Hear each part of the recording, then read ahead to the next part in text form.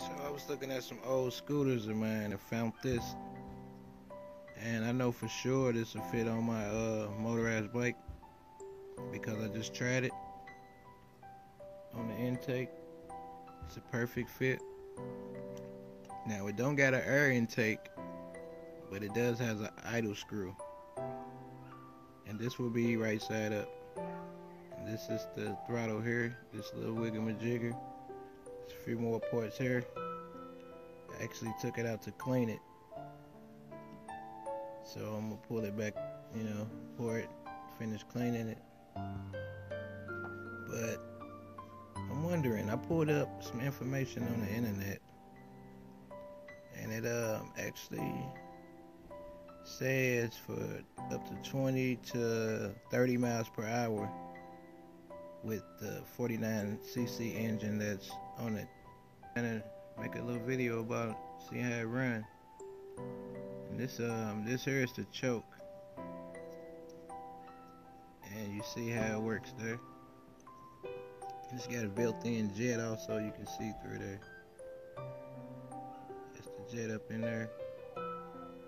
And uh, shows you the choke. And the actually the choke comes through here. The choke lever wire comes through here, stops against that on the other side, of course. Comes through here and you put a loop piece here, and that's how you uh, work the choke. And same thing basically with the dri I mean the driver with the um, gas throttle. Same difference, but you slide it in and you put your keeper here, and when you squeeze it here, you know as you, you was hitting it, it lifts up and you know it opens you up. That's how you get your gas mixture. Yep, yep. So um, we'll go ahead and try to wire this thing up, man. I already see that it fits perfect on the stock. Well, this wasn't a stock, as you can see. But as far as fitting, it like just fits snug on there, man. Like no pressure at all. So that's what we looking like with it all built up. Actually, I got my um, filter on, but it actually fit pretty good. It's not a bad fit. But um, I can work with it.